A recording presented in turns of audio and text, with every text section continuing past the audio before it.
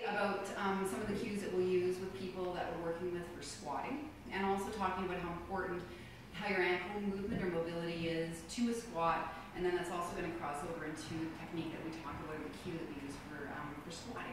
So one of the things that we'll often do with our clients when they come in as part of our movement screen is look at how your ankle is moving.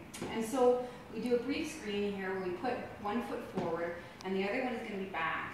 And the testing foot here is my back foot, okay? Is my right leg. And what I'm going to do is I'm going to ask the person to keep the ankle on the ground and bend forward as far as they can, okay? And then what I do when they reach that position is I'm going to drop a plumb line down from my knee. What I'd like to see is that they can clear their ankle bone, their medial malleolus, okay? So that's sort of indicative of adequate ankle mobility.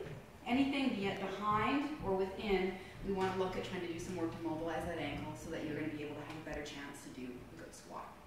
So when we get into actually the squatting part of things, one of the cues that we'll use with people is, and we'll often have bare feet so that they can get a better sense of kind of where their foot is in space for that squat, because that's the place where it starts from the ground.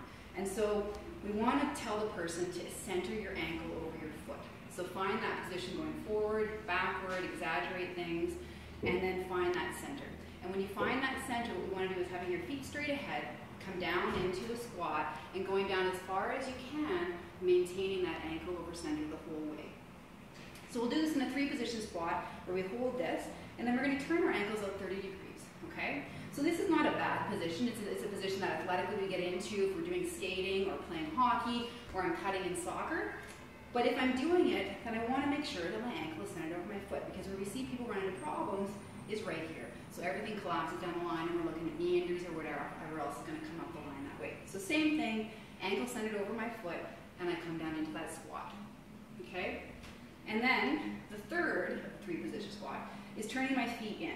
Okay, so if you spent time with your kids in the ski hill, you've done a lot of this. Snow plowing, holding them in between your legs. Okay, so with this same position, ankle centered over my foot, and I'm going to come down and hold that squat.